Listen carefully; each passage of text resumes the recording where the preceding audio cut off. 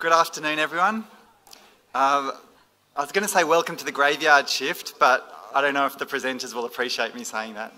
Okay, okay, they do. Um, and in fact, um, Candice was telling me, our last speaker was saying, procurement is always the graveyard shift for some reason. Um, but I actually think, I mean, this was the session before Catherine asked me to come and chair this. This was the one I really wanted, I was most excited about. So, and these speakers are really fantastic and in terms of the range of things they're covering as well. Um, I also think it really ties together the themes we've heard today. Um, you know, there was a lot of talk about, and this has all been said in other sessions, but we've got all these targets as part of strategies. How do we achieve these targets? Part of it is we don't have enough infrastructure, we need infrastructure. Um, what are the constraints on infrastructure? Some of them are tons and, and feedstock certainty, long-term contracts, um, having certainty to invest.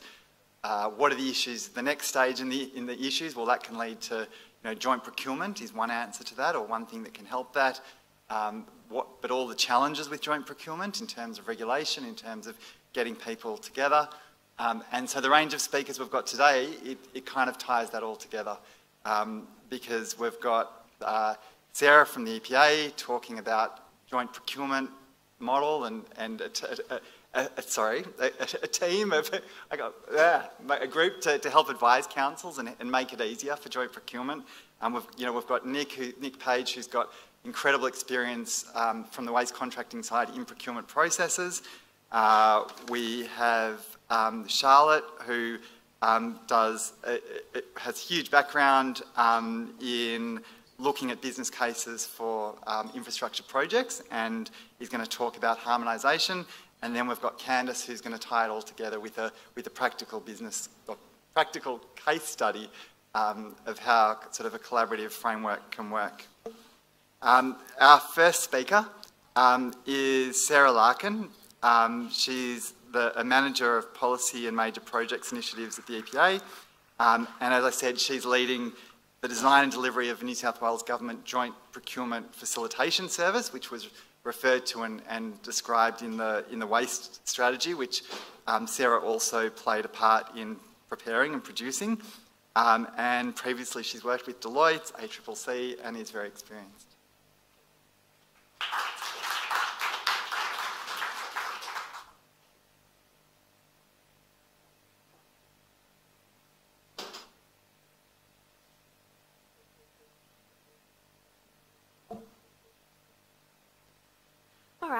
Um, thank you so much, everyone, for coming today, um, and thank you very much for the lovely uh, introduction. Um, before I do get stuck into the presentation today, I just wanted to begin by acknowledging the traditional owners of the land on which we're meeting today um, and pay my respects to their elders past, present and emerging. So, as the introduction said, my name is Sarah Larkin. Um, I'm one of the managers at the, in, at the New South Wales EPA um, in our policy division. Um, and I'm really excited that I get to have the opportunity to have a chat to you today um, about our new joint procurement facilitation service. Um, it is a brand new service um, that the New South Wales Government is leading um, and is specifically being led by the EPA. Um, and it's there to provide support for councils in New South Wales for waste procurement uh, with a big focus on the major waste contracts that councils are entering into, uh, particularly with processing, um, potentially also collections as well. And really, um, the service is all about supporting joint procurement and supporting procurement uh, with the aim of really trying to get good value for money for ratepayers, um, as well as providing an opportunity to work together at the state and the local level on achieving circular economy outcomes. So that leads in then to what the focus of today is.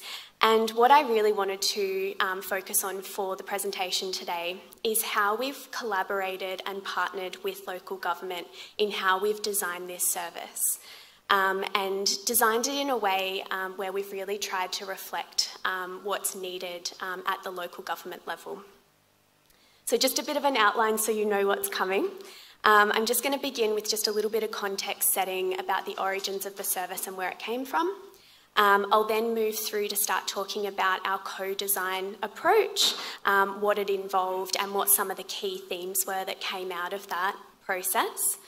And then I'll provide an overview of the scope of the service and the initiatives that we're hoping to deliver, um, which reflect, um, hopefully, um, what came out of that, the feedback that we received through that co-design process. So in. So just to start with the scene setting, um, so as, been, as has been mentioned, um, the Joint Procurement Facilitation Service um, was an announcement made under the Waste and Sustainable Materials Strategy. Uh, in the strategy, um, it included a commitment um, to fund a service with $16 million over five years.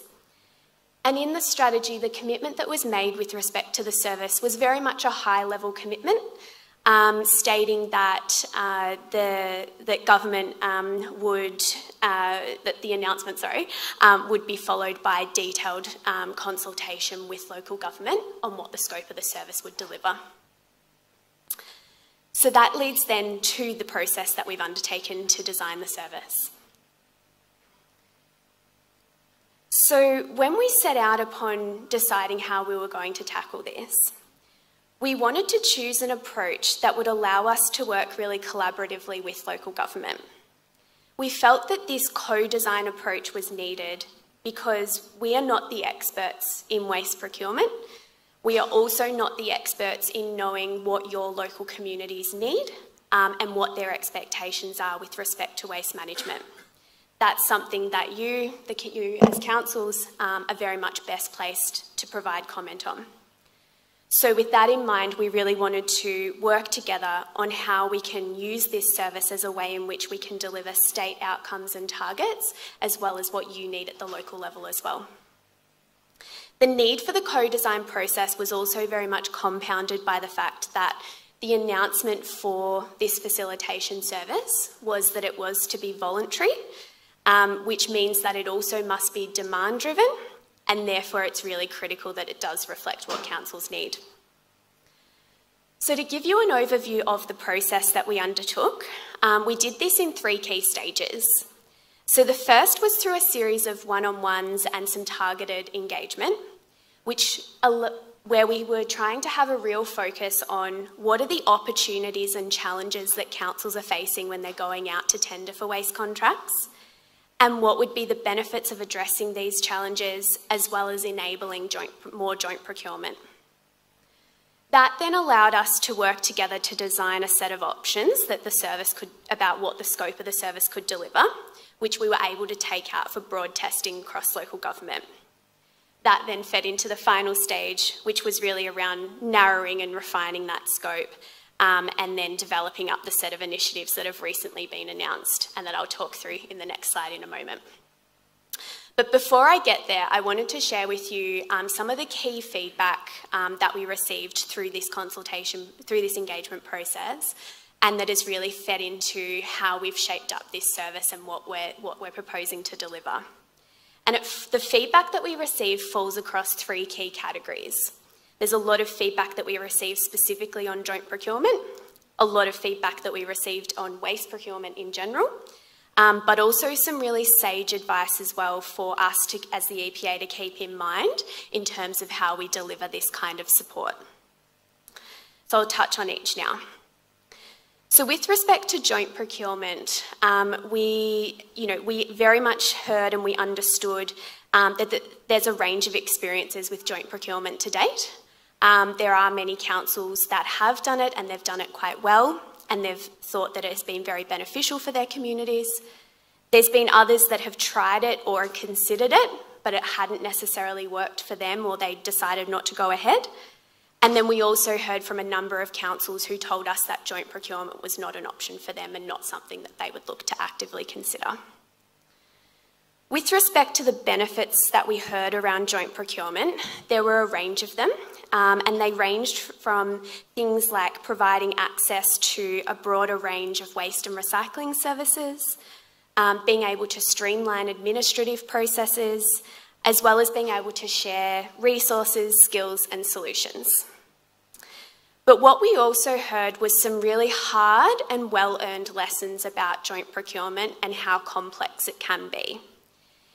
And so, as part of that, we also heard then some of the really critical success factors around joint procurement from those that had found it um, successful.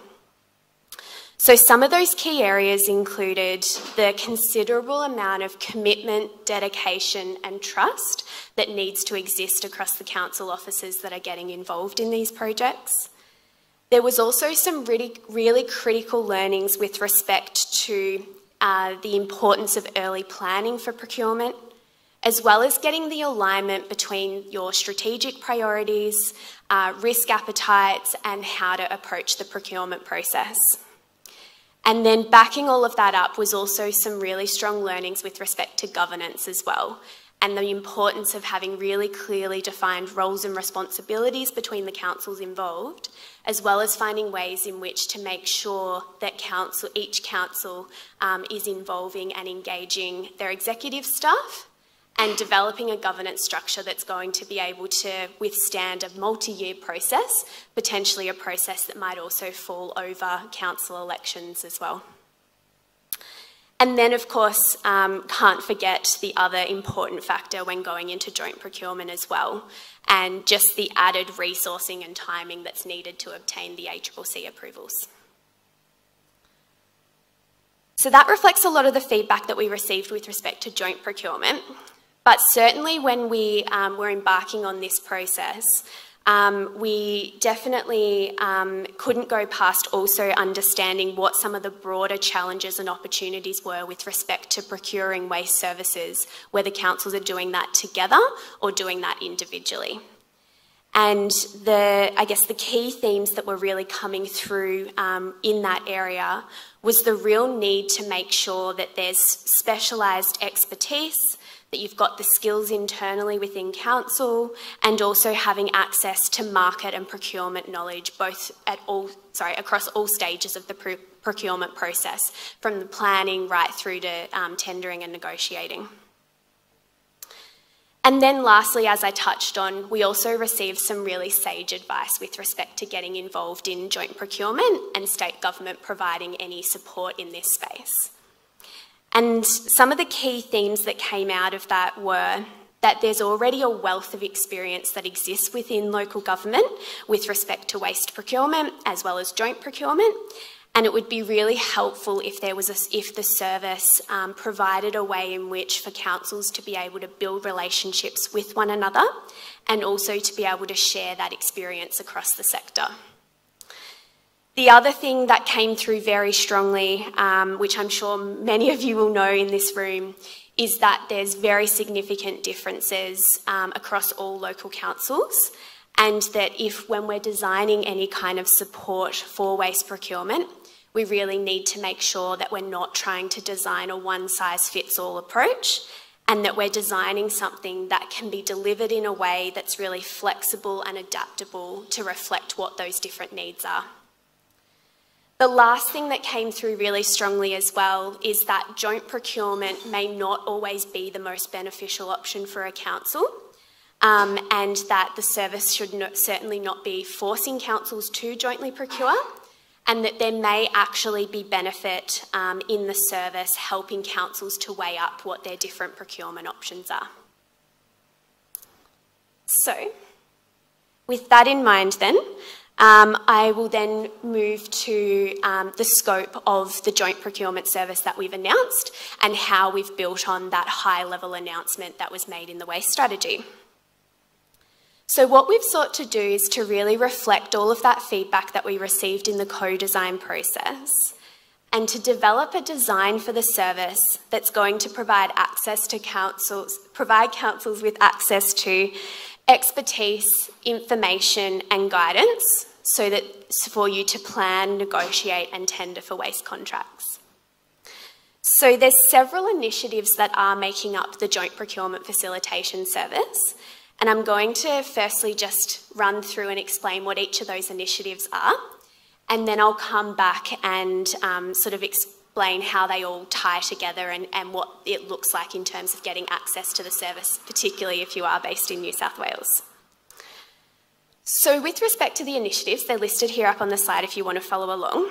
Um, so, the first is that we are making available a pool of funding that councils will be able to tap into if you're exploring or undertaking a joint procurement, and that that funding pool will enable you to get access to expertise that you might need when going through that procurement process. Then to be able to help support you to find the experts that you need to advise on those services, um, we're also looking to set up a panel of qualified experts. We're then looking to provide um, a, access to data, information and analysis that can help councils to make informed decisions in procurement um, across all stages of the procurement process. There'll then be made available a library of materials um, that will be able to be tapped into on demand. And that library of materials will be something that we add to over time and will include things like training um, as well as various guidance materials for your staff, for council staff. And then the other key thing that we are looking to do is to make sure, reflecting that feedback, is that there is a mechanism and an opportunity within the service for councils to be able to learn from one another, um, whether that be through case studies or other things. And so to bring all of these initiatives together, what we've also established through the service is a dedicated concierge. The intent of the concierge um, is to be there to coordinate the delivery of all of these initiatives, but also to be there to provide really tailored guidance and support on procurement.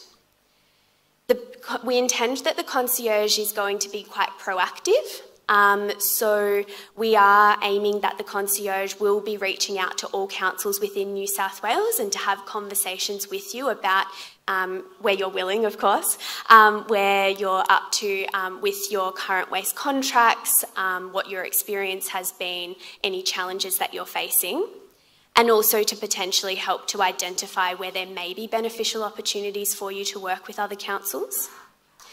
The concierge is also intended to be reactive as well. So, what we're seeking to establish by having this concierge is to have a single point of contact within the EPA that will be able to respond to any queries, any questions that you have with respect to waste procurement and provide that point of contact within state government. So, I'm almost finished, moving almost onto the last slide. So, how all this is going to work together and how can you get involved if you are a council in New South Wales? So, in short, if you are working on or exploring a joint procurement for one of your major waste contracts, you may be able to seek from the service tailored advice and support um, through making use of our concierge and through the funding pool. And that can potentially provide you with both in kind and financial support up to $500,000. And even if you're not doing a joint procurement, or you're, but you're undertaking a, a waste procurement more generally, or even if you're not sort of looking for more of that tailored in-depth support, what we're seeking, what will be established under the service is a set of resources that you're going to be able to tap into on demand. And so the things like the information and data, the guidance materials and the training will be things that you'll be able to access regardless of whether or not you're doing joint procurement and is hopefully resources that we will continue to build over time as we move further into the implementation of the service. So, I'm going to wrap up here, um, but I wanted to say that um, if you do want to get in touch and want to talk further about the service, um, we do now have our dedicated concierge set up. I have the details on the screen here of Marcel and Cameron, um, who are very willing to chat to anybody and everybody about the service. Um, so please do get in touch with us, and very happy to answer any questions at the end as well that you might have too. So thank you very much for listening.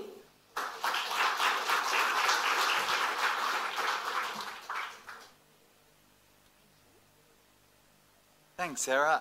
I should have said at the beginning, um, we're going to have questions at the end, um, partly because that's what the panelists want, partly because um, they all sort of fit together, so we thought that would be a good idea, and partly because there's no microphone until the end. Um, the, the next speaker we've got you're really lucky we've got Nick Page, who's the General Manager of Tendering Con- and Contracts at JJ Waste. He's an amazing resource to have to, to, come up here and talk about this topic, given that for 18 years um, he's been working in this area um, and JJ's currently got 56 contracts. Uh, or no, sorry, that, that's 56, sorry, contracts with 56 councils. There may be more contracts for different, no, 56 contracts? What that'll do. There's lots of contracts with lots of councils. Um, and Nick's been involved in getting those processes together and, and actually in the delivery of those contracts.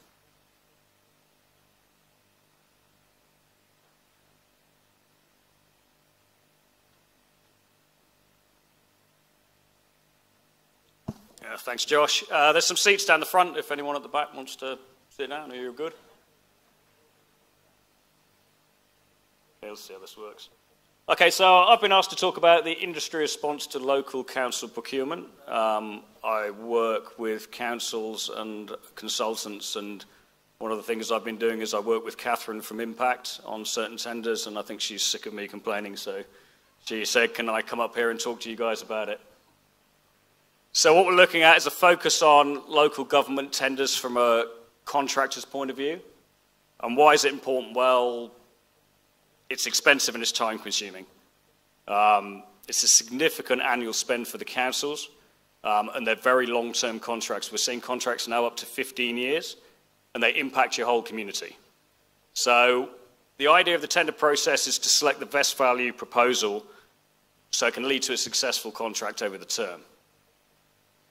So, as Josh said, I've been doing tendering for 18 years for JJ's. Um, we are a family business. Uh, we're a private company. Uh, we've been operating for 90 years. Uh, we collect over 3 million wheelie bins a week. And we have our own engineering facility where we build our own truck bodies and we have our R&D department. So the first thing I want to talk about is timelines. How long does it take? So our tendering department is centralized. We have 12 people in our tendering department. So it's quite a significant department for the company. Um, we obviously have to get the documents in. The documents nowadays are getting bigger and bigger. We've got more legal people like Josh involved writing complicating contracts for us. We need to read the documents. We then need to prepare questions, and then we physically drive to your collection area. We drive every street to make sure we've got the right equipment and we've got the hours right. Uh, then we've got to produce a financial analysis, and obviously we need to do a submission. So one thing you need to ask yourself is how complex is your specification? So are you asking for things like bins? Are you looking to introduce FOGO services, glass services? Are you asking us to take it to a variety of disposal locations? Have you got things like bulk bins, curbside cleanup, etc.? The more complicated it is, the more time we need. And what we're talking about is anywhere between six and 10 weeks. When we're talking about contract establishment, if you'd asked me this probably pre-COVID, I'd say we need between six and nine months. Nowadays, you're talking at least 12 months um, with supply chain issues. So the way it works for us is when we win a contract, we order the trucks from Volvo, who's our supplier in France. They then go to the build queue. So we then wait in the queue till our trucks are built.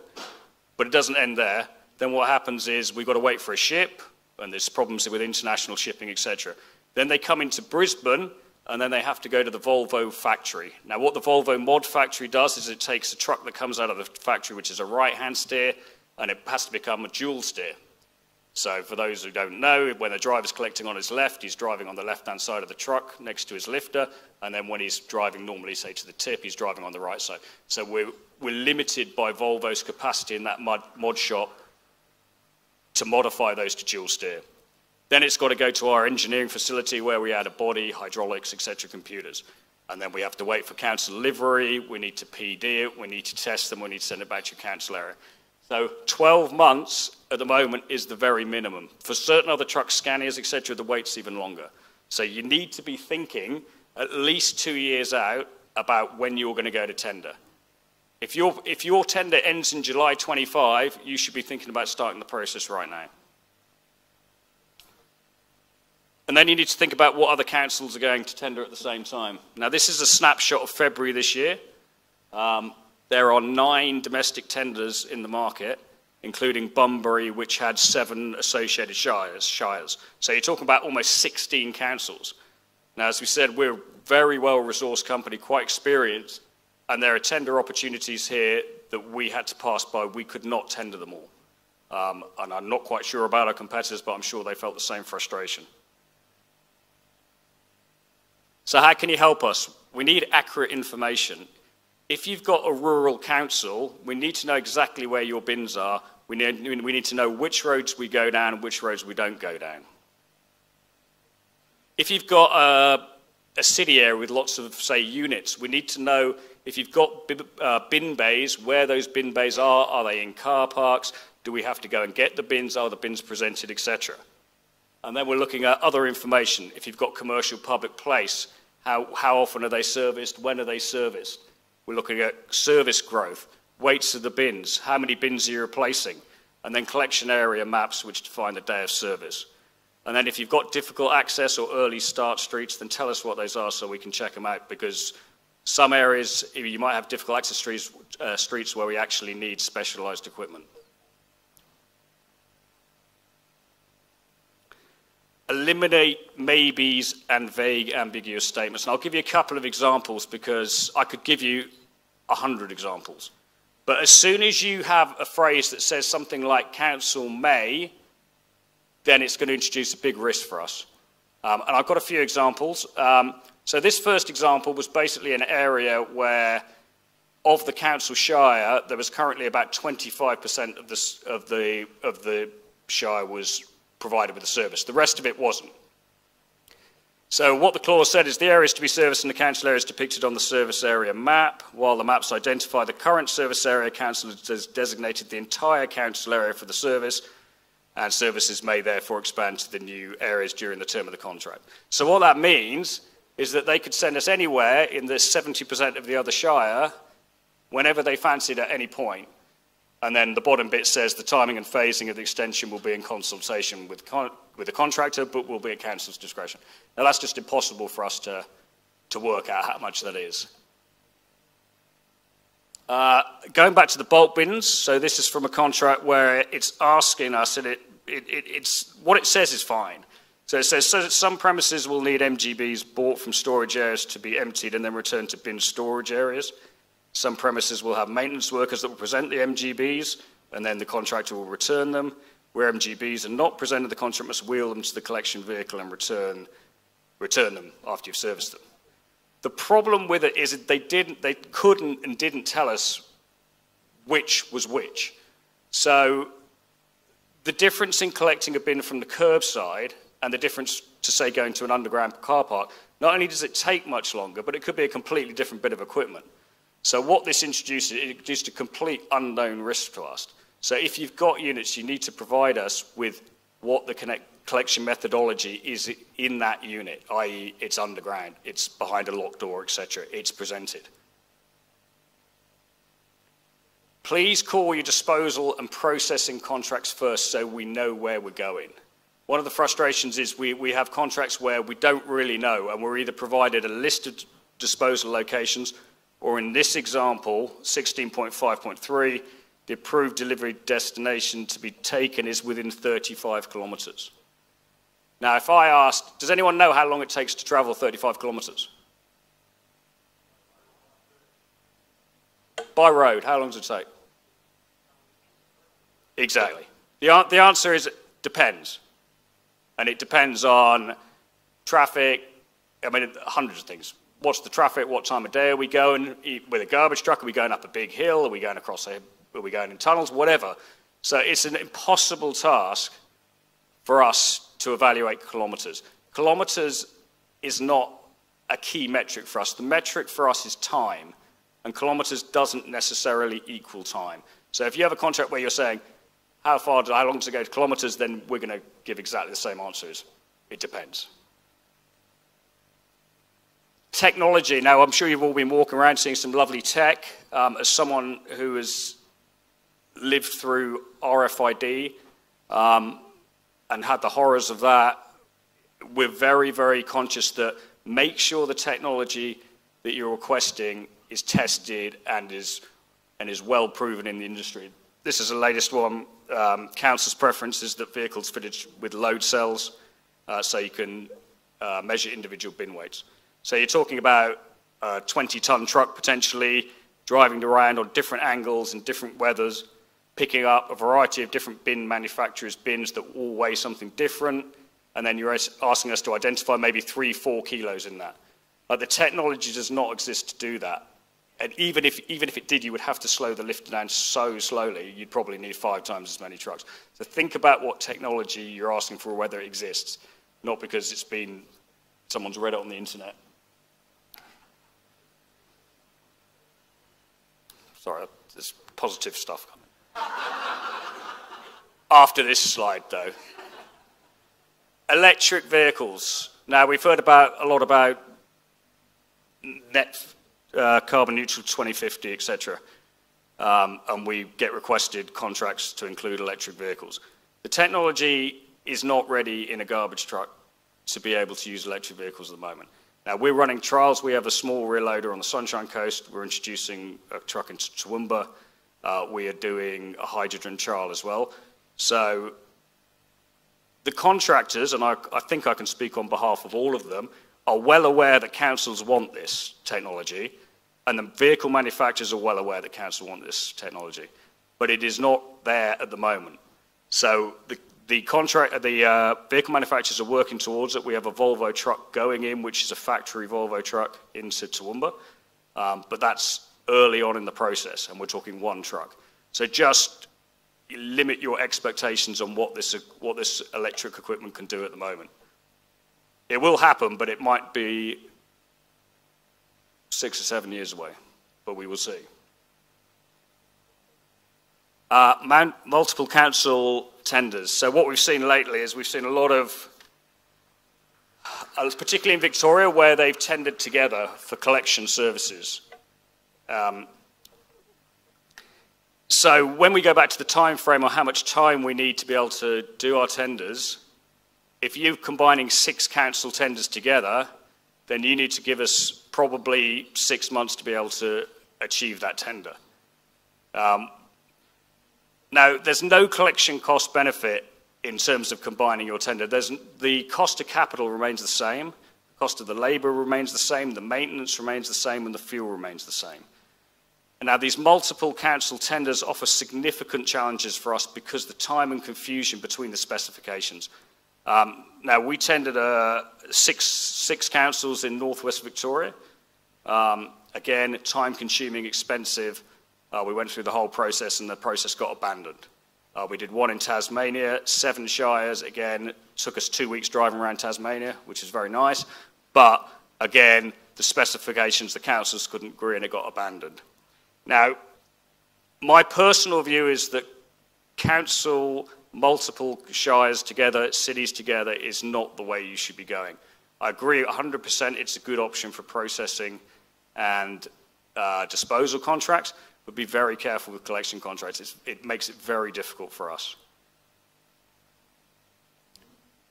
The exception, I guess, is if you've got two very small shires together and you've got, say, half a truck in each, that's a good option to maybe go in together and see if you can get one truck and get a better deal together. Clarity of pricing schedule. So make sure your pricing schedule matches your specification and separate key bits from the collection rate. When I say key bits, I'm talking about bins, uh, bin replacements, education, audits, price per bin per scheduled service. Now, we know we don't pick up every bin, but occasionally we, we get a contract where we get paid per collection. And that, again, introduces risk, which makes it very diff difficult for us.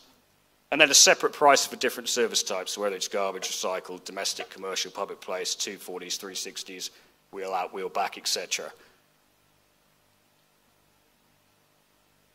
And then respond to questions. If we ask a question, sometimes we're waiting for an answer before we can continue with our, with our tender. So please respond as, as quickly as you can, certainly within three days. And please close out ten, uh, questions two weeks before the tender's due. There's nothing more annoying than finishing a tender and then two days before you get an addenda for a council that changes the whole specification and we're basically back to square one. And it does happen. So bear that in mind, please. Suitable price review mechanism. Now, I had a council ring me just after Christmas, and the guy said, I don't think he's here, so I think I can sell this. He said to me, Can you, he goes, I'm doing some forecasting for the budget for next year. He says, Can you tell me what the price of fuel will be in July?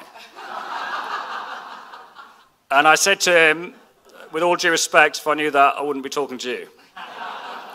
But I don't know that, which is why I'm talking to you. So we need a rise and fall that reflects what we're doing. So we need labour components, fuel, and CPI. Fuel is up and down like a yo-yo. CPI is just heading north at the moment. So we need to have that security. So we need indexes that are published when the tenders close, so we know what we're doing. And then it needs to be adjusted at, at the service commencement, so we get adjustment when we start and then every quarter. So what will all this achieve? Well, it means we're confident. It means we're confident that we have given you the best solution we can. And it means that the other contractors are confident, so you'll get the maximum number of tenders received. And what that means is if we can lower the risk without having maybes, without having equipment that we don't know how it works, then you'll get the best value for money. And, that, and if you do the timing properly, you'll get time to assess it properly. There's a tender out the at the moment that's due in June, and council are saying that they will have a decision in July. That is not sufficient time to assess the, a, a, complicated tender properly. Uh, and what it does, it gives us enough time for a smooth commencement, which is what everyone wants, and it gives you the best platform for successful over the term. And excellent service for the community, which is what we all want. So that's it from me. I think we're doing questions at the end, so if you've got any, please feel free to and if you disagree with anything I've said, I'm more than willing to discuss it. So thank you.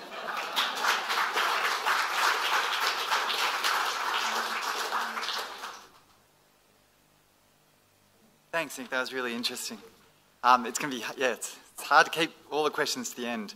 Um, our next speaker, um, we've got Charlotte Wesley um, from Arcadis. She's a principal environmental consultant in waste advisory um, Charlotte's an environmental engineer um, who specialises in the planning and development phase of resource recovery infrastructure projects. And um, through her work uh, with Waste Less, Recycle More, she's actually been involved in looking and helping with business cases for um, hundreds of millions of dollars worth of infrastructure projects. So she'll be really acutely aware of the different challenges um, and benefits. And she's going to talk about harmonisation, and she's going to kick me, but she's very good at basket weaving.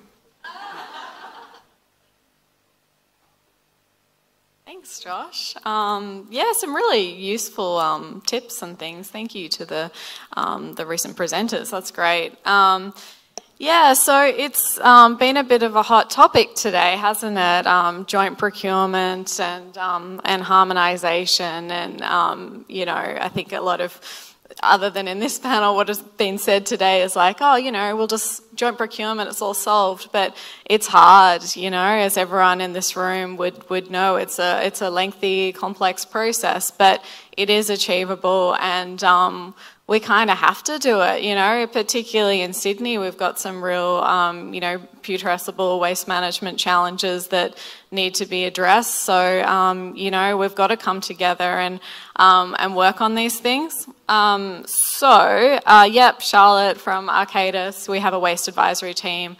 Um, you know, we, we work on, a, you know, business case, we work on project planning, um, that sort of thing. so, clickers here. Uh, what am I talking about? Um, what is harmonisation? Um, why is harmonisation being pursued? What are the goals? Um, who, who's pursuing it? Um, and you know, what are some of the lessons learned, um, particularly in relation to joint procurement um, of you know processing solutions, and what might be some first steps? So, um, harmonization, let's, yeah, so we'll get on the same page with, with definition. So, harmonization refers to the alignment of waste services or, or standardization uh, and, and pursuit of shared goals. Um, you know, the, the aim is that it's to support correct usage um, because there is a consistency, there's a familiarity um, across geographies. Um, it does not necessarily mean joint procurement. Uh, it does not necessarily mean one size fits all. Um, so yeah, and it's it's not always the the silver bullet as well. So you know, we're going to talk about in what circumstances might it be beneficial. Um, and then you know, joint procurement, we know it's it's combining the procurement actions or two of more um, contracting authorities. Um, so procurement benefits that could flow from harmonisation uh, would be uniformity of services creates uniformity of specifications, um, potentially improve price transparency because you're kind of comparing apples with apples. Um, investment in infrastructure is supported by harmonisations. The services to, to be procured or supplied are more predictable. Um, options in tenders are minimised and so streamlines complicated um, procurement processes. Um, waste management strategies can become more harmonised um, and costs across local government areas potentially more equitable, depends, yeah. Um, and sustainable um, procurement of, you know, predictable materials also supports circular economy as well. Um, so what can be harmonised? Um, what could be jointly procured, they're not necessarily the same thing. So, um, you know, we've been talking to date about bin inputs, bin systems, all of that. Um, in terms of joint procurement and, and collections, there's, you know, there's little benefit for, for doing a joint procurement approach, as kind of Nick has talked about. Um, there's potentially no financial benefits at all. Um, potentially, maybe if you're looking at you know consolidating at a transfer station and long haul, uh, there might be some benefits in working together. Um, but really, probably the opportunity is in the, the processing um, solutions as well. So, um, coming together improves your buying power through scale, um, and also, um, as Candice will, will talk about, you can also um, influence the market as well when you've got your kind of performance based outcomes for your contracts. So improve participation, what are the goals? Improve participation in source separation activities, increasing, you know, capture of target materials, improving quality of materials for improved market demand or higher product quality and, you know, attempting to minimize contamination. A, harmonized system, not quite there, yeah, there we go, fancy, um, could look like, you know, ideally, um, brands, retailers, manufacturers controlling input materials um, in this this utopian um, circular economy thing that we're aspiring to, maybe, maybe one day. Um, and then there's also the, the behavior change component as well with that interface with the households and businesses. That then interfaces with the, the local authorities and their collection systems. Uh, and then the, again, there's that relationship to the reprocessors and closed loop value add.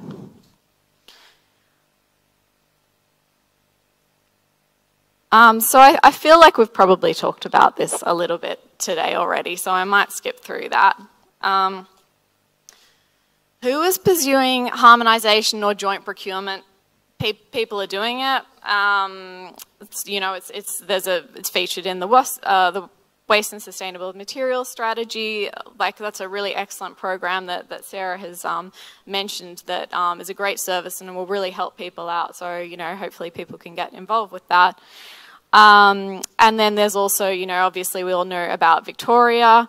Uh, and then in terms of um, joint procurement for processing infrastructure, there's the Southeast Melbourne Advanced Waste Processing Facility as well, which has been going on um, for some time and, um, you know, will hopefully one day lead to some new infrastructure procurement for those councils. Um, what are the challenges with harmonisation? There, there are many, and we we're not saying that it's one size fits all. Um, you know, that we're talking about alignment, consistency where appropriate. Um, so that you know does need to acknowledge the um, the metropolitan, the regional, the remote, the market circumstances, and you know we're, we're working across uh, Australia where there's a, a, whole bunch of different uh, policy and levy settings as well, which adds to the complexity. Um, to address some of the, the barriers or the, the perceived challenges with um, joint procurement, um, this was a, you know, a useful document, shared services in local government. Um, some of the reported concerns with it is uncertainty around costs and benefits, um, perceived risks to autonomy, um, resistance by staff and, and, unions to change, uh, you know, politics and relationships, and some other commonly held um, beliefs that we've come across um, is economies of scale, you know, although that, you know, is a, is a real benefit for, for processing. Um, the other one is that with economies of scale, you're necessarily going to get some price benefit. That that just isn't the case and always. And some there's some examples of it, but it's not the only reason to harmonise or, or jointly procure services. Um, and as I've mentioned, it's it's not you know alignment of services and timeframes doesn't you know need to be a one size fits all. So, what are some of the lessons learned um, that Arcadis and Impact Environmental Consulting, um, and Catherine in particular, um, have gleaned over the years of working with um, regional groups is that um, alignment of services is preferable but not essential. So preferences for different waste collection frequencies or other services inclusions can be accommodated within joint contracts. Um, alignment of contract start and end dates are not essential. In some circumstances, such as mobilisation of new infrastructure, um, it can be preferable to have that kind of staged approach. Um, joint procurement may not be attractive to um, preferred or smaller contractors, um, so, so that's a, a, concern, but that can also be partially addressed through applying a procurement um, a, a, document evaluation criteria, which may, you know, favour smaller local solutions. Um, and, and further to the point about, you know, joint procurements do not always achieve expected efficiency savings. Um, you know, the, the benefits sometimes can be linked to, you know, back office things and that sort of thing. Um, but there are successful examples that, that have, um, and again, not the only reason to work collectively. Um, Sarah mentioned about anti-competition. Um, anti-competition risks, um, you know, can be triggered, um, but they can also be addressed, and, and there's examples of that too. Um, multiple services can be procured under one service, but um, fewer players are able to offer that multitude of services, so there's, you know, less competition, which can be uh, less desirable. Um, and also, you know, it, it is a it's a timely, resource-intensive process. So I think it's very welcome news to hear that um, New South Wales EPA is willing to to do some partial funding to to support that. Um, so you know. And, and I guess in the earlier sessions today, we talked about, you know, the benefits of long-term contracts. In those long-term contracts, there's going to have a lot, much longer kind of preparation phase. Um, and you know, whilst it might be a costly and lengthy um, exercise, setting it up right can really, you know, bring about the infrastructure that you want, um, and also set you up for for the future as well, and um, you know, long-term uh, cost security. Um, uh, you know, some of the, the challenges are agreeing, achieving agreement between councils takes time. Um, continual decision making is required. Um, so it's best to kind of set up some reference challenges, uh, channels. Um, so like working groups of waste managers um, to refer decisions to a project control group as well. Um, and also output-based or performance specifications rather than input-based specifications can achieve better technical commercial outcomes. So there's um, you know efficiencies and, and, potentially some cost efficiencies across a wider geography with, with potentially kind of complex services. Um, so yeah, agreeing on objectives in advance can be beneficial for joint tender processes. Um, uh, because any changes could be measured against the original objectives. And you know, as you're going through the um, the, the process, it's always good to kind of bring it back to your agreed objectives and and you know where appropriate, refresh those as well. Um, so benefits and, and weaknesses of the standalone versus the re regional approach in, again, the context is, is processing, not, not collections, is Um, you know, the, the appeal of standalone is that, you know, it, it seems low risk and, you know, self-tailored to your, you know, unique circumstances, reduced complexity and, and, you know, may take less time. Um, however, the, the downside is you're in a, you know, a weaker position to influence the market and you might have to be more of a, a price taker. Um, and then, you know, there's potentially limited, you know, opportunity to negotiate because you don't have the same level of um, market influence as if you were doing a regional approach. Um, so with a regional approach, you might have a higher influence over the market, tender process, and contract conditions. Um, you might be able to attract more ambitious technologies and services. Um, and yeah, but the, there is the, the, the, perception of the, um, the higher complexity. Um, but, you know, it's opportunity to spend a bit of time and get it right initially.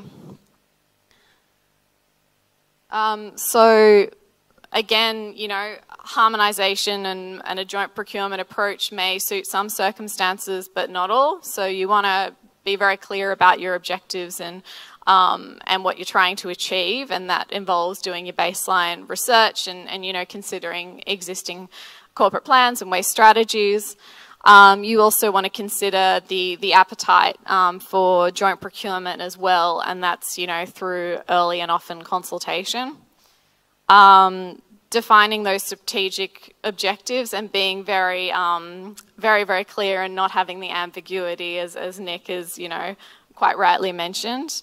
Um, and I think, you know, to echo another point about thinking about how you can, I guess, get the most from, from the market, which is, I guess, looking at who's out there, you know, assessing the market shape and dynamics, thinking about, you know, when you might be bringing this opportunity to market and not, you know, flooding it at a, a difficult time or an uncertain time and that sort of thing. So um, that can also help you to get, you know, better results and then, you know, developing that robust um, procurement plan as well. Uh, and then, you know, considering whether you're doing a, single stage or a multi-stage uh, procurement process as well. Um, you know, with single stage, there's the perception it can be, you know, quicker and cheaper. Um, multi-stage, there's more of that, you know, opportunity to kind of negotiate and, and potentially get the specific outcomes you want. But again, it's it's challenging within the the context in, in which we work. Um, uh, and, the, and the legal frameworks as well. Um, so yeah, that's that's me. Um, yeah, thank you everyone for, for your time. Um, and I think we'll do questions at the end. Um, so yeah, thanks for listening.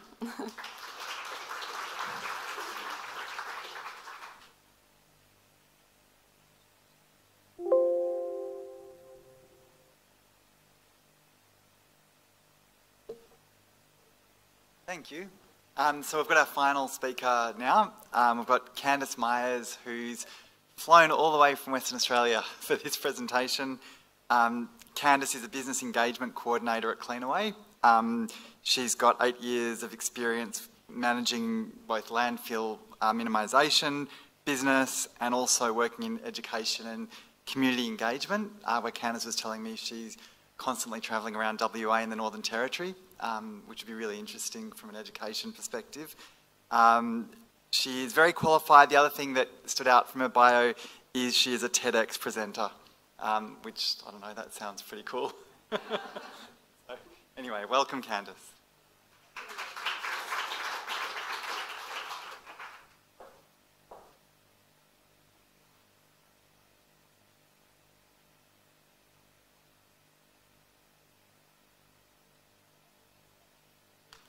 Hello to the last of the last. Thank you so much for still staying here.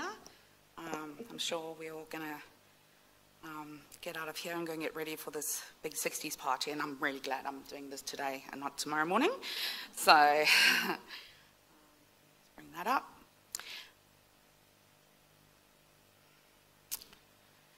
So, uh, my name's Candice and I work for Cleanaway in their solid waste services the, as the education um, and engagement coordinator for WA and Northern Territories. Over the last two days, the recurring buzzword of collaboration has been consistently mentioned, and this has been a great segue for my presentation. as it's collaboration with our client that has brought the success to our Curtin contract that brings me here today. So while collaboration has been suggested as a strategy to solve many of the issues that, we, um, that bring us to meet at conferences um, to discuss, I'm excited to present evidence for how collaboration can lead to gains in the ever-present war against waste. So let's talk about performance or outcomes-based contracting and how this type of procurement framework works from a waste management perspective, using Curtin University and Cleanaway as our case study. I will identify both the benefits and challenges in implementing and managing this type of contract and discuss how this may look in the future. Firstly, what is a performance-based or outcomes-based contract? I consider both outcomes and performance-based contracting to be the same thing and there are some that will say that they are not the same. However, Dr. Andrew Jacopino, a notable Australian expert in contract management, and specifically performance-based contracts, argues that they are, due to both fundamentally incentivising the customer's outcome. My preferred performance-based contract definition is that contract focuses on the desired outcome of how the work, of the work to be performed, the what, rather than the manner in which it is to be performed, the how. This model is not new. In fact, this procurement framework was pioneered in the US in the 1960s. I didn't realize the synergy there between the 60s tonight until I reread this earlier.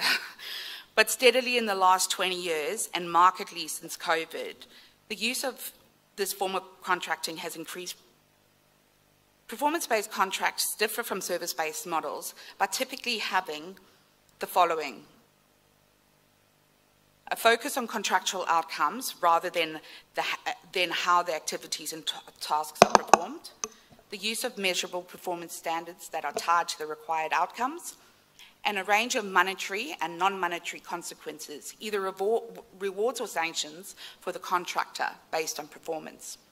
So in short, Performance-based contracts require the contractor to achieve KPIs for the vendor without being tied to specific processes in order to reach those KPIs or how the work is ultimately performed.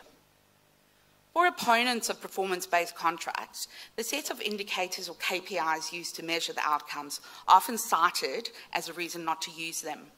It is therefore essential when designing KPIs that the following is taken into account achievable performance standard for each um, indicator, defined process to collect, analyse and report data for the selected, oh, sorry, I think I've gone to the wrong slide, for the selected indicator, and a range of monetary and non-monetary consequences, either rewards or sanctions for the contractor based on their performance. In the case of Curtin Cleanaway contract, the predominant KPI that we have is around landfill diversion. But there are also KPIs around safety, service delivery times, and reporting, and they are comprehensively laid out in our contract. Successful performance-based contracting also um, very heavily relies on collaboration, there's that buzzword, between the client and the contractor. It is essential that there's transparency, strategic planning, and that there's a genuine alignment of both the service provider and the customer's interests. The way the contract is laid out promotes continuous innovation to not only meet KPIs but surpass them. Performance-based contracting has been gaining momentum in the environmental sector as organisations become more aware of their environmental footprint and move to more sustainable outcomes for business. In a, uh, in a, 2022 systematic review of 71 performance-based contracts by Bagrazi et al. from the University of Oxford, they found that 69 of, of the studies reported the following reasons for utilising performance-based contracts approach in environmental-based projects. It incentivised the desired, outcome, uh, the desired environmental end, provided reliable long-term performance, allow a flexible and innovative service, and it transfers financial risk back onto the private sector. Although Curtin is um, one of our commercial clients, many of you today are from councils, so it allows the private sector to share in that risk of uh, reaching the, the KPIs that, that you need to do. So how has Cleanaway successfully implemented performance-based contracts at Curtin University? Curtin University is the largest university in Perth. The campus is 116 hectares and it has the same footprint as the Perth CBD. I put in my slide there that the Brisbane CBD is 136 hectares. It might be a little bit more relevant for the East Coast.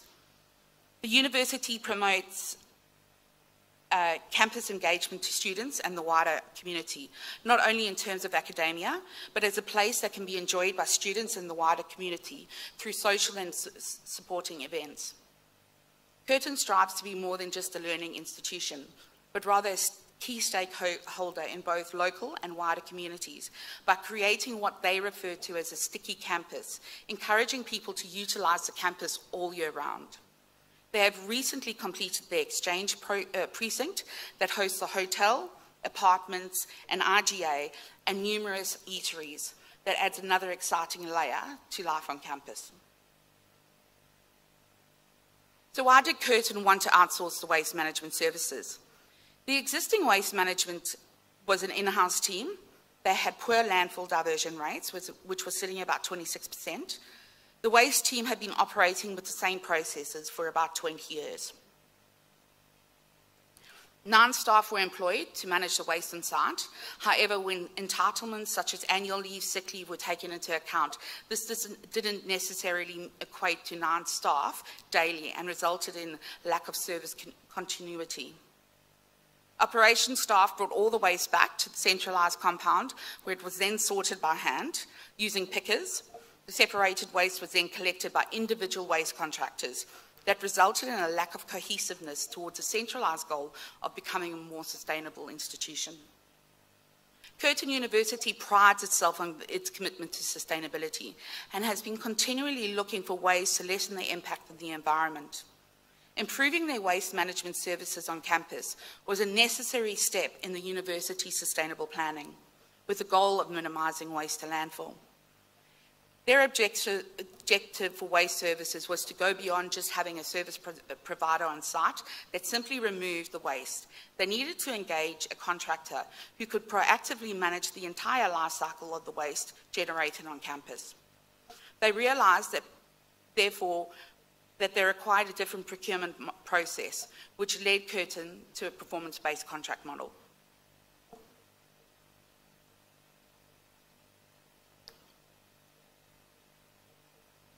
Performance-based contracts need to have key strategies in place to reach their KPIs. For this contract, the following strategies were deemed essential. We have a dedicated on-site clean, uh, Cleanaway team at Curtin, support and placement of our uh, Cleanaway strategic assets, education and engagement, strategic partnerships, exceptional service delivery, communication and engagement, and continuous innovation. Cleanaway have a dedicated on-site team at Curtin University consisting of an operations supervisor, three drivers, and a waste coordinator, myself, who manages all the engagement and education on campus. Together, they ensure all day-to-day -day operations run smoothly and efficiently. Having a team on site allows us to be part of the campus, which makes it easy to understand how a campus works day to day and allows us to research innovative ways to assist with landfill diversion, it also ensures excellent collaboration and engagement with Curtin's staff, who are integral to, who are integral to our success on campus. Cleanaway assets have given us the ability to ensure excellent service delivery. Vital to our success are both our South, uh, South Guildford MRF and our large fleet, which ensures no downtime when maintaining our Curtin dedicated assets. As the waste coordinator on campus, I ensure engagement with multiple stakeholders across the campus. This has allowed for beneficial and meaningful relationships to develop. This ensures that Cleanaway is investing in not only the environmental success of landfill diversion, but also the education and social benefits of the students and staff on site. I am supported by Cleanaway's national marketing team, um, ensuring the creation of quality content and programs like our Green Years program. To effect long-lasting behavioural change and reach a wide demographic, I ensure that our programs and engagements that we roll out include various interventions, not just education. We also utilise interventions such as environmental restructuring, which includes strategic bin placement throughout the campus, training through lectures and presentations, enablement by ensuring that we provide solutions for the types of waste that is being generated on our campus. Also, we model the desired behaviours by having manned waste stations at certain events. This ensures that the types of engagements we roll out are varied and diverse. Examples of engagement include social media, face-to-face -face engagement, and hosting clothing swap days in line with the Buy Nothing New Month. I've presented guest lectures, spoken on Curtin Radio, and mentored students from various disciplines in sustainability winter units and inter-university challenges. Cleanaway also prioritises supporting and collaborating with our local industries and specialised recyclers. Examples of partnerships that have contributed to our success include Cleanaway Daniels, which handles all our clinical waste, Total Green Recycling, started by two brothers who used to attend Curtin University, who are specialised e-waste recyclers, Simply Cups, who are innovating coffee cup recycling, and depackaging solution options for our organics. To ensure the contract and the day-to-day -day operations are running smoothly for the university, Curtin have one and a half staff members overseeing the daily operation and the portfolio manager for public places and facilities managing the contract. Curtin operational staff share an on-site office with Cleanaway staff, ensuring that information is relayed quickly and effectively and any issues that arrive, arise on campus can be addressed collaboratively and efficiently. Communication is key to successfully managing any contract. In addition to the Curtin and Cleanaway staff interacting daily, we have monthly meetings between operational staff and managers, bi-monthly waste education meetings between myself and the contract manager to keep update with current waste trends on campus, which have in part been identified in our quarterly waste audits. We can then identify what engagement we should action on campus for example, utilising the Curtin social media networks. Curtin is a large and complex facility, and to ensure students are safe while commuting between classes, as well as contractors servicing the site, vehicle access times are restricted within the academic core between 9am and 3.30pm. Cleanaway had to rethink how we would deliver services while working within those safety and time frameworks set up by Curtin and meet our service delivery targets. Cleanaway's vehicles on campus are easily identifiable and we are visible as a team as we perform our daily tasks. On occasion, there have been misperceptions of how we perform services which have been incorrectly reported. Fortunately, our focus on continual and transparent communication has allowed us to address any issues and use the opportunities to further educate stakeholders. We have also had to uh, redesign some of our processes while being based outside our Perth Metro branch, as the contractual requirements sometimes differ from older processes used in service-based contracts. For Curtin, moving from an internal waste management system to a contractor created some legacy issues where new processes were unfamiliar to some users across the campus, and that created and caused some resistance. Like any large organisation, Curtin is multi-departmental and requires many approvals from different stakeholders before items can be approved and implemented. Curtin is also very culturally diverse, attracting over 6,000 international students to our Bentley campus, and we have to be mindful about what language we use and how we educate and communicate, because that can be misrepresented by those who are not familiar with waste management. By taking on the totality of waste management on board, Cleanaway has been able to work closely with Curtin to establish an innovative, holistic approach to waste management. Curtin's large size allows for us to use scale to find alternative disposal methods. We can provide partners with not only quantity, but single stream quality uncontaminated products for resource recovery. Being on site allows for unique immersion into campus life that could not be achieved remotely and the performance-based service model drives us to identify alternative solutions for sometimes unusual waste streams. Having access to the entirety of Cleanaway's business allows us to ensure landfill is always our last resort. We have also developed a customized portal that allows Curtin to track our monthly progress in terms of landfill diversion, but it also allows us to compare year-on-year data and understand the waste, uh, waste trends in line with the academic calendar and other outside influences. KPR landfill diversion were set targets that the contractor had to achieve. In April 2020, when we started, our baseline diversion was 26%. By April 2023, diversion was recorded at 72.91%. This was 4.91% higher than the third year KPI of 68%. Not only did Cleanaway team exceed the target by nearly 5%, but we did this without being able to rely on the technology of waste to energy that was, that was anticipated to be available when the contract was drawn up.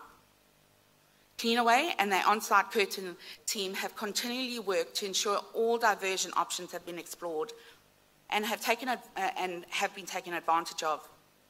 Understanding that a university is a complex organisation with many stakeholders where decisions that could minimise landfill does not always work, sorry, does not always fall into the purview of the Curtin Waste team.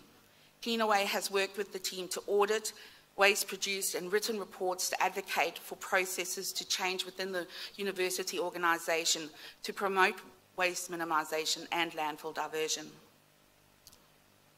While our main achievement is landfill diversion, other achievements we have been recognised for include being a finalist in the Waste Sorted 2022 Awards in the Commercial and Industrial category. In the engagement space, I mentored a Curtin Sustainable Development Goals group. They won their challenge and was recognised at the United Nations WA Gala Awards. And last year, Curtin and Cleanaway jointly presented our contract success at the Perth Waste Conference.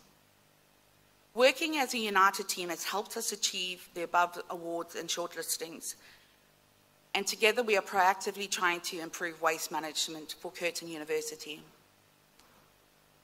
So has performance contracting worked for Curtin University with regards to waste management and achieving the KPIs? The diversion targets achieved as well as other achievements send a resounding yes. Curtin wanted to partner with a company that could not only achieve landfill diversion through strategic assets such as a MRF, but also through innovative and out-the-box thinking. This needed to be underpinned with excellent service delivery and transparent and open communication. By employing key strategies for managing this contract, together Curtin and Cleanaway have surpassed the KPIs originally set, the processes are pushing the norms for how an organisation can lessen their environmental impact and are ensuring that we are at the forefront of what it means to operate in a circular economy.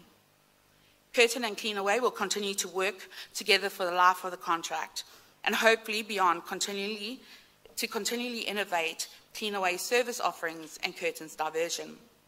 The biggest impact going for, forward we can make is within, is within procurement.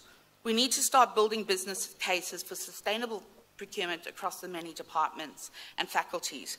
We are also looking for ways to ensure that we are participating in circular economies at both state, uh, at both local, state and national levels. So I'll just leave you with the quote that I think really sums up what we do at Curtin University. Sustainability is not a goal to be reached, but a way of thinking, a way of being, a principle we must be guided by. Thank you.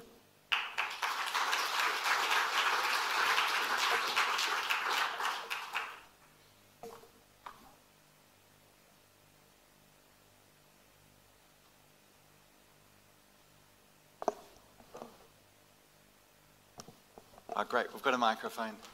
Thank you. They were, they were really fantastic um, talks that really complemented each other. Um, it's really over to you to ask questions, but I mean, everything, I don't know, you just feel like it's a, re recap. you know, we've got, we've got, you know, Sarah, Sarah, you could ask so many questions about the practical rollout of this task force, which is really interesting. Nick was definitely, um, would have raised, I'm sure, must have raised lots of questions um, giving real insight into the contractor perspective of, of what to look for. Charlotte um, you know, in terms of her experience with harmonisation and it's like, I mean, that, that really flows through all the talks and, and had a really clear set of pros and cons and, um, and, where, and benefits and you know, where it's not always appropriate. Um, and Candice's talk, I think that is a really interesting model. I mean, I had no idea a university, you know, picturing it, it really is like an ecosystem, like, like not so different to a municipality really, and it, it's almost like a case study where they're able to actually step in and, you know, is that something that, where, where are the analogies between, um, you know, that and local councils? And, and I guess two of the key themes that I saw were um, information um, and how important it is, and, and that flowed everything from the EPA's task force in the, in the planning stage in terms of what data they have to the market data. Um, you know, Nick raised, well, obviously, like, you know, it's a key part of, you know, Nick's presentation in terms of how important it is to get this information right so they can properly price tenders. Um, and then even like, you know, Nick's comment about, you know, when there's multiple councils going out to tender together, um, how problematic that can be. And I was sort of kind of wondering, is that something the Joint Task Force can be involved in as well in terms of feeding that information. So because councils often don't even know when other councils are going to go to market together. Um, and you know the other thing, I, I, guess, planning. I mean, so so often. Um, I don't know, I, get, I guess I get frustrated um, as a lawyer in these processes when people say, look, we really need to take this approach because this is going to achieve, we need to, we need to go to market at this point in time and this is the best way to do it. Or we can't do this because it'll lead to a longer negotiation process. So focusing on process, uh, I guess, outcomes rather than the actual delivery outcomes, and that all comes from lack of planning. And um, kind of think one of the the flip side of you know the focus on joint procurement is that it, it should have um, kept they kept sort of talking about you know through um, the different presentations about the need for early planning for joint procurement, but in a way. It's kind of a good discipline that, you know, I, I feel like sometimes when, when councils do decide to jointly procure, not always, but sometimes at least that actually forces them to think about the objectives early, think about the, the constraints and the benefits and can lead to sort of some better outcomes. Sorry, I didn't want to take up any of this time. Move it over to them. Has anyone got a question?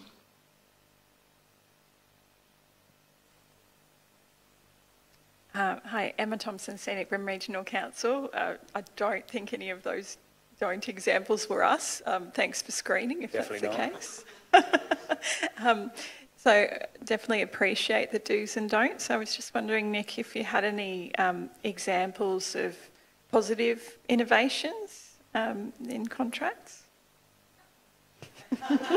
Is it me? Not really, no.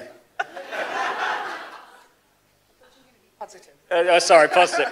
uh, yeah, obviously, like, I mean, a, a, lot of what I've focused on today is the negative because they're the kind of things that slow us down. It's always the sort of small bits that you kind of focus on. Like, a lot of the things are good, a lot of the innovation is, is coming through in terms of integration with councils, in, information systems, uh, you know, some of the technology that we, we're implementing into trucks, some of the things about, you know, even things like detecting council potholes and increasing the viability of the service. So, there are some positives as well. Thank you, Emma. Hi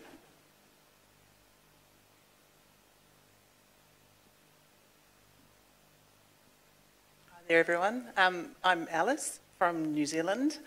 Um, a question, and it might be, um, you might all have some views on this. Um, something that came up earlier in the day was um, alliance contracting model, and I just wondered if, as panel members, you had some thoughts on where alliancing might fit in in the waste procurement space. I might let someone else answer that because you probably won't like my answer. anyway. no, no. Um, and also, we have the master in the audience, Catherine Driscoll. So, um, I also would, yeah, be interested in her perspective on these things.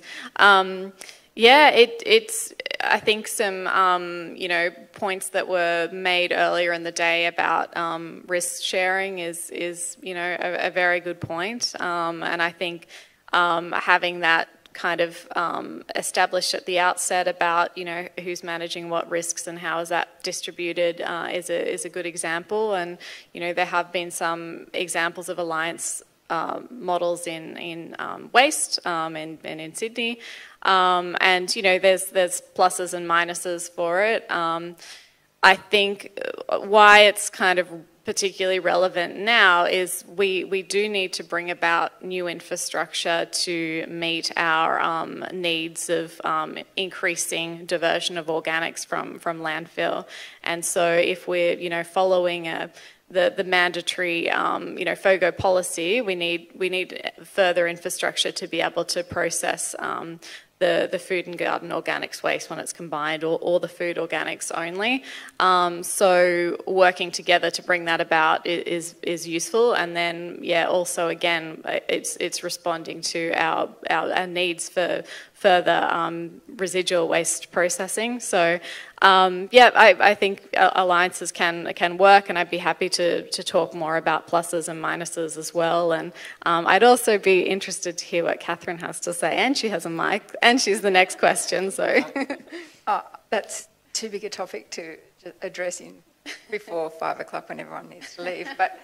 Uh, I do have a question for Nick um, for local council collection contracts. Some, occasionally, um, we still get a council that wants to combine collection and processing under one contract, um, putting aside the contractual problems that we have with that approach. Um, just wanted to get your take on when you see a collect and process contract come out. Well, my view is that collection and processing are different skills.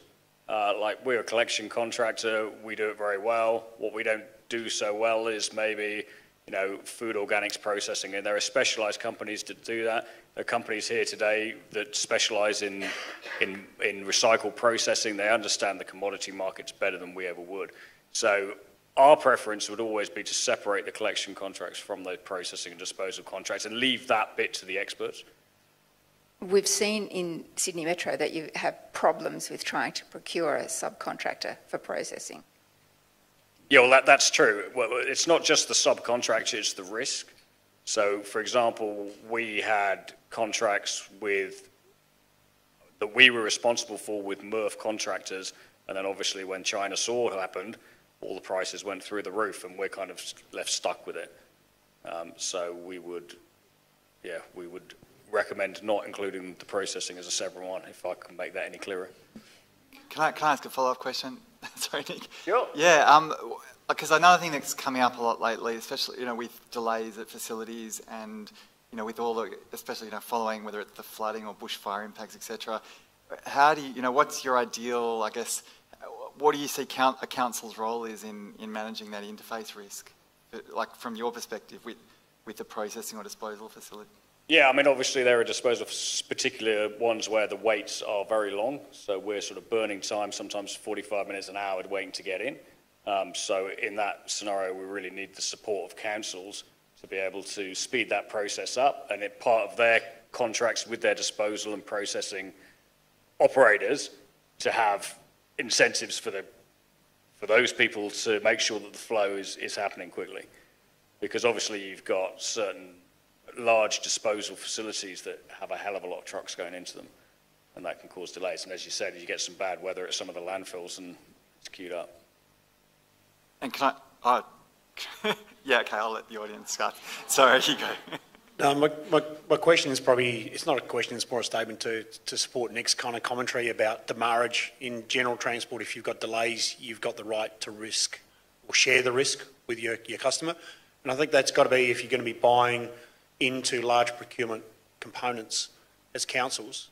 Keep in mind a transport function is bottlenecked at certain times because of the way the runs are built and the way we collect bins. And the waiting times are significant because you can't find another truck, you can't find another way of doing it, and we've got limited times. We've got EPA saying don't go in there too early, uh, you've got to be out of there by this time. There's a lot of KPIs within councils, and I think risk mitigation and risk sharing is paramount around those waiting times. Also the risk of fires, you know, a truck going up in flames. Um, we were the messenger. We picked up that load. Uh, it's about how we correct that through good messaging, behavioural change and support with your contractors. Think of it as a working relationship for the term that you're doing it, not a supervisor versus contractor relationship, which is where a lot of contracts historically have been. You know, it, it's like being locked into a restaurant. I said it this morning to some other people. It's like having a contract for seven years with a restaurant that you bought food once and was pretty good, and then the relationship kind of goes wrong after the second or third year. But you can't buy food from anywhere else. You're locked into that contract for seven years. So keep in mind your due diligence is around getting a feel for who they are. Do your good scope on who specialises in certain things, and, and Nick's comments around, you know, stick with the ones that are good at what they do. There's enough of them out there, and there's a lot of really good companies who want to buy in. But the bigger the project, the less competition you will have in the quality of the service and the price point relative to it. It's more a statement, I apologise, but I, I support everything you guys have said on today. I just want to reiterate from a contractor's point of view that it is harmonisation, it's about commitment, it's about loyalty and support and, and working together, which is critical to this moving forward. Yeah, thanks, Adrian. I mean, it, that's partnership is really important.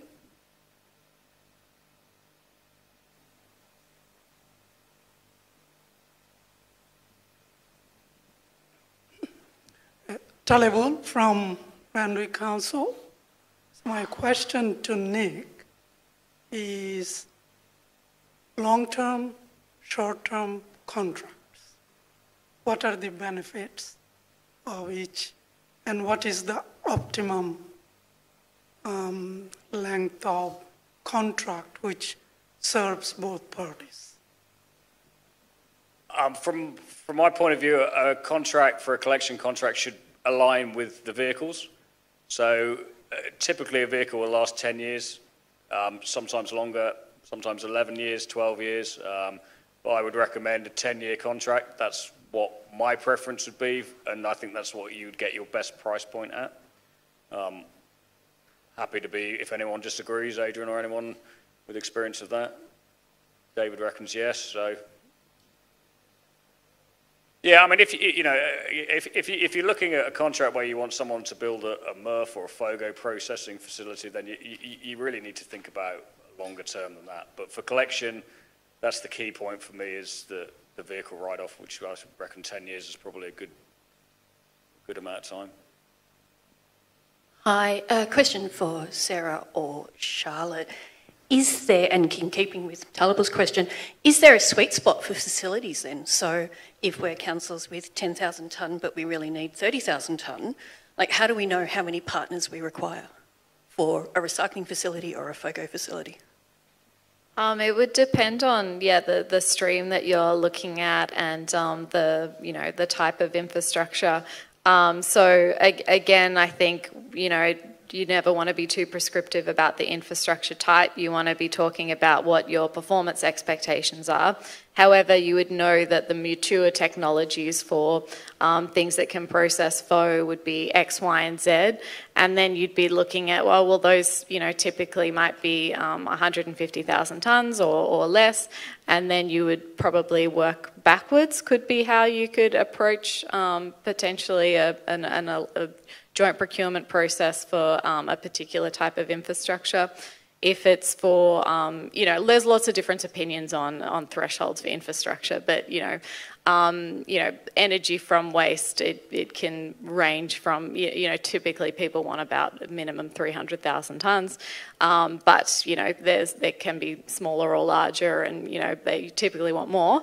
Um, so that's how you could potentially work backwards to think about how many partners you might need.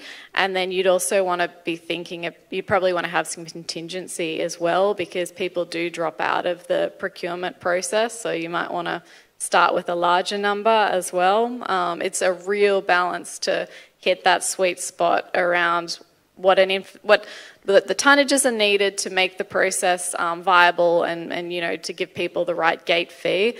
Um, but then there's also the, the balance of you know having people commit with minimum tonnages to these things. So um, yeah, lots of lots of things to, to say around that. But um, I'll, I'll pass it over to Sarah. I don't think nothing to add.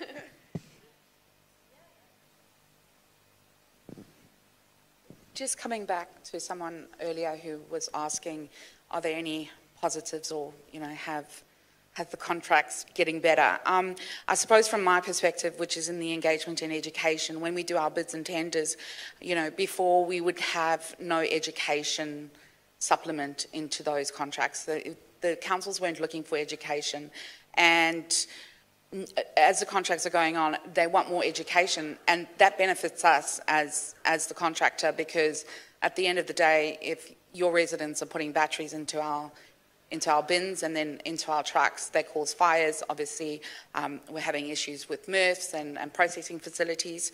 So I would say there's definitely that's more positive, but it's not enough. It's not enough. Um, and councils want great product. They want, you know, contamination lowered. Um, they want, you know, not to have burning trucks in their streets and, um, and um, you know, outside their residents' homes. But it really needs, as, as an industry, we really need to start pushing behavioural change. And that's not a education piece. Behavioural change is a lot more in depth than that and requires a lot of science and a lot of money. Um, so from my perspective, in, in an organisation that's core business is, you know, logistically moving waste and processing it, um, it's so important that we have more money spent in that realm. But councils don't necessarily want to do that because I think in the past it's always been this little puff, fluffy piece on the end. And we really need to get behind really changing the way our residents view their waste. And that obviously all comes into waste minimisation and circular economy and that. But if we don't have that, we're not going to get very far. We, we've had $60 million um, put into the Recycling Modernisation Fund. And when I asked one of the Canberra officials, well, what about the education? He was like, oh, I don't know. And I was like, well, how do we expect those facilities to stand longer than 10 years. Our South Guildford MRF burned to the ground after two because of what we assume was a battery. Um, we, we, need to, we need to really start looking holistically if we want to get into this whole circular economy. Thank you. Oh, one more. Joe. Hello, uh, Joe from Bayside Council. Uh, this is an EPA question. So obviously um, the last time that the, um, the EPA model contract was last revisited was around 2016, I believe. And obviously a lot of things have changed since 2016 in our industry. Uh, obviously that puts a lot of our, the councils that are tendering, which we recently had to do, at a significant disadvantage because we're virtually recreating that document to modernise it to today's conditions. Is there something that you guys are doing in that space? Absolutely. So, um, the joint procurement service that I spoke about earlier, um, one of the things that we are looking to set up there is that library of materials. Um, and one of the things that we are looking to explore there is a whole range of different things that we would be able to make available to councils to help support procurement. Um, and certainly, model contracts um, is one of the things that we're looking at um, and whether we can update um, what, we, what we've previously provided, um, and that being something that might be able to be accessed. Thank you. Everyone, can everyone thank our speakers again? We've. Oh. Now, all I was going to say is I'll let you go because you've got to at the party in an hour. But and I imagine I don't know you'll stick around five minutes or so if people want to come up and ask more questions.